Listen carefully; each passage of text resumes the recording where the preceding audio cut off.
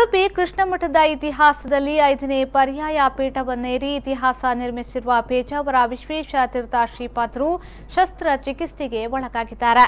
ದೇಶದ ಪ್ರಭಾವಿ ಶ್ರೀಗಳಲ್ಲಿ ಒಂದಾಗಿರುವ ಪೇಜಾವರ ಶ್ರೀಗಳು ಇಂದು ಹರ್ನಿಯ ಶಸ್ತ್ರಚಿಕಿತ್ಸೆಗೆ ಒಳಗಾಗಿದ್ದಾರೆ.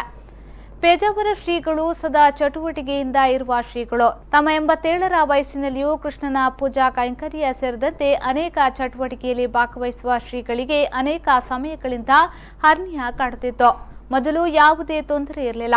ಆದರೆ ಇತ್ತೀಚೆಗೆ ಕೆಲವು ವಾರಗಳಲ್ಲಿ ತೀವ್ರವಾದ ನೋವು ಕಾಣಿಸಿಕೊಂಡು ತೊಂದರೆಗೆ ಕಾರಣವಾಗಿತ್ತು. ವೈದ್ಯರ ಸಲಹೆ ಮತ್ತು ಅಷ್ಟಮಠಾಧೀಶರ ಒತ್ತಾಸೆಯ ಮೇರೆಗೆ ಮಣಿಪಾಲದಲ್ಲಿರುವ ಕೆಎಂಸಿ ಆಸ್ಪತ್ರೆಗೆ ಇಂದು ಪೇಚಾವರ ಶ್ರೀಗಳು ಶಸ್ತ್ರಚಿಕಿತ್ಸೆಗಾಗಿ ಆಸ್ಪತ್ರೆಗೆ ದಾಖಲಾದ್ರು. ಪೇಜಾವರ ಪರ್ಯಾಯ ಸ್ವಾಮೀಜಿಗಳ ಅನಾರೋಗ್ಯದ ಕಾರಣ ಇವತ್ತು ಕೆ ಎಂ ಸಿಯಲ್ಲಿ ಅವರೊಂದು ಹರ್ನಿಯದ ಆಪರೇಷನ್ಗಾಗಿ ಆಗಮಿಸಿದ್ದಾರೆ.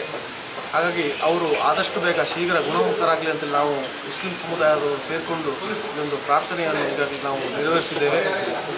ನಿನ್ನೆ ನಾವು ಸ್ವಾಮೀಜಿಗೆ ಅವ್ರ ಹತ್ರ ಭೇಟಿ ಮಾಡಲಿಕ್ಕೆ ಹೋದಾಗ ಅವರು ಮಾತು ಹೇಳಿದರು, ದಯವಿಟ್ಟು ಅಲ್ಲಿ ಜನ ಸೇರಿಸಬೇಡಿ ಹಾಗೂ ಯಾವುದೇ ಕಾನೂನು ಸುವ್ಯವಸ್ಥೆಗೆ ಧಕ್ಕೆ ಬರೋದು ನೋಡ್ಕೊಳ್ಳಿ ಅನ್ನುವಂಥ ಒಂದು ಮನವಿ ನಮ್ಮ ಹತ್ರ ಮಾಡಿಕೊಂಡಿದ್ದರು ಆ ಮಾತಿಗೆ ಅವರ ಮಾತನ್ನು ಒಂದು ಗೌರವಿಸಿಕೊಂಡು ನಾವು ಹೆಚ್ಚು ಜನ ಸೇರಿಸದೆ ಸಾಂಕೇತಿಕವಾದ ನಾಲ್ಕೈದು ಜನ ಸೇರಿಕೊಂಡು ಎಂದು ಪ್ರಾರ್ಥನೆ ಮಾಡಿದ್ದೇವೆ ಹಾಗೂ ಆದಷ್ಟು ಬೇಗ ಸ್ವಾಮೀಜಿಯವರು ಗುಣಮುಖ ಗುಣಮುಖ ಆಗಲಿ ಅಂತ ನಾವು ಹಾರೈಸ್ತಾ ಇದ್ದೇವೆ.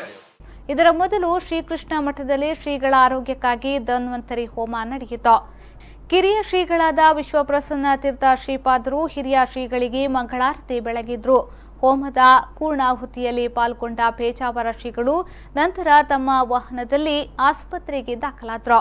ನಮಗೆ ಅನೇಕ ಸಮಯದಿಂದ ಹರ್ನಿಯ ಇದೆ. ಅದರದ್ದೇನು ನಮಗೆ ತೊಂದರೆ ಇಷ್ಟವರೆಗೆ ಆಗಿಲ್ಲ. ಇತ್ತೀಚೆಗೆ ಒಂದು ಎರಡು ಮೂರು ಸಲ ಅದನ್ನು ಸ್ವಲ್ಪ ತೊಂದರೆ ಆಗಿದೆ.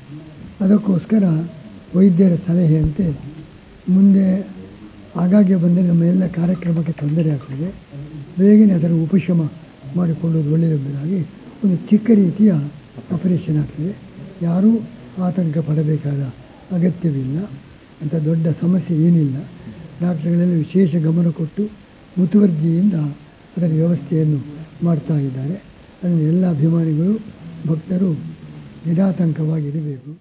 ಮಧ್ಯಾಹ್ನ ಎರಡು ಗಂಟೆಗೆ ಶಸ್ತ್ರಚಿಕಿತ್ಸೆ ಯಶಸ್ವಿಯಾಗಿದೆ.